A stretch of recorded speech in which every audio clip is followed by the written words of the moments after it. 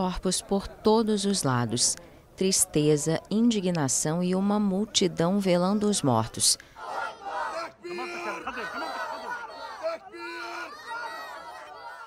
O ataque ao hospital Al-Ali Arab, na cidade de Gaza, causou revolta em todo o mundo. Nesta quarta-feira, vários líderes mundiais condenaram o bombardeio que deixou centenas de mortos e feridos. O presidente da Rússia, Vladimir Putin, chamou a situação de catástrofe.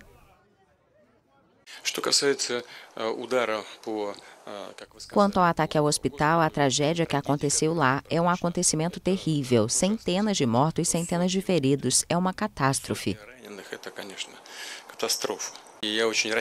Realmente espero que este seja um sinal de que este conflito precisa terminar o mais rápido possível.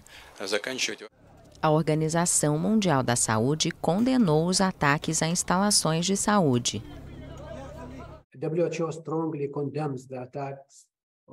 A OMS condena veementemente o ataque ao Hospital Árabe Al-Ali no norte da faixa de Gaza. O hospital estava operacional com pacientes, prestadores de cuidados de saúde e pessoas deslocadas internamente abrigadas lá.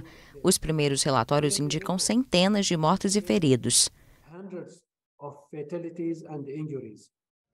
O alto comissário da ONU para os Direitos Humanos lembrou que muitas famílias buscavam refúgio dentro e nos arredores do hospital.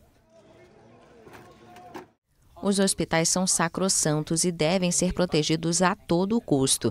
Ainda não sabemos a escala total desta carnificina, mas o que está claro é que a violência e os assassinatos devem parar imediatamente. Os civis devem ser protegidos e a ajuda humanitária deve ser autorizada a chegar aos necessitados com urgência. Os culpados devem ser responsabilizados. A presidente da Comissão Europeia, Ursula von der Leyen, afirmou que não há contradição em ser solidário com Israel e agir de acordo com as necessidades humanitárias dos palestinos. Todos os fatos têm que ser apurados e os culpados têm que ser responsabilizados. Nesta hora trágica, todos devemos redobrar os nossos esforços para proteger os civis da fúria desta guerra. O Papa Francisco pediu que uma catástrofe humanitária seja evitada. Tacciano le armi. Si ascolti il grido di pace dei poveri, della gente. Silenciem as armas, deixem que os gritos dos pobres e das crianças sejam ouvidos. Irmãos e irmãs, a guerra não resolve os problemas, apenas espalha morte e destruição. Ela aumenta o ódio, multiplica a vingança. A guerra apaga o futuro. Multiplica a vendetta. La guerra cancella il futuro.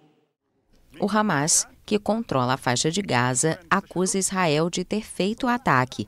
As autoridades do Estado hebreu atribuem o bombardeio a uma falha no lançamento de um foguete pela Jihad Islâmica, outra organização palestina que atua no enclave. O grupo desmentiu a informação.